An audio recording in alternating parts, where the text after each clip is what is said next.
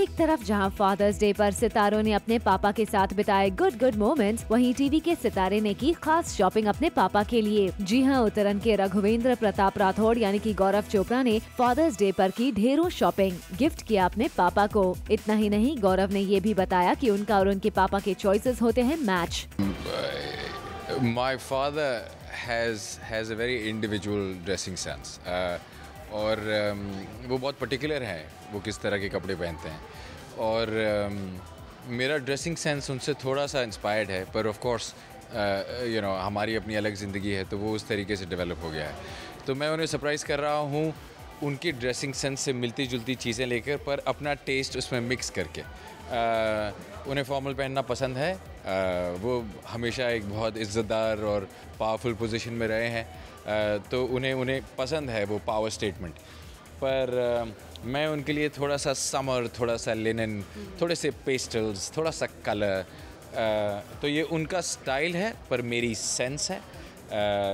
तो बाप और बेटे का कुछ कोलैबोरेशन हो रहा है यहाँ पर। सीनियर चोपड़ा और जूनियर चोपड़ा कोलैबोरेशन हो रही है आज।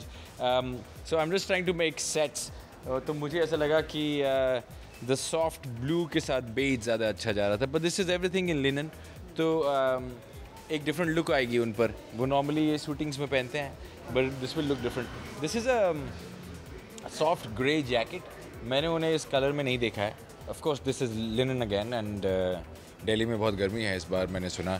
तो शायद uh, वो इसे इंजॉय कर पाएँगे। This is the classic white shirt but जो कट है इसका वो कट um, थोड़ा सा डिफरेंट है एंड uh, uh, मैंने उन्हें चाइनीज़ कॉलर में नहीं देखा है so I am just experimenting with that उसके साथ एक classic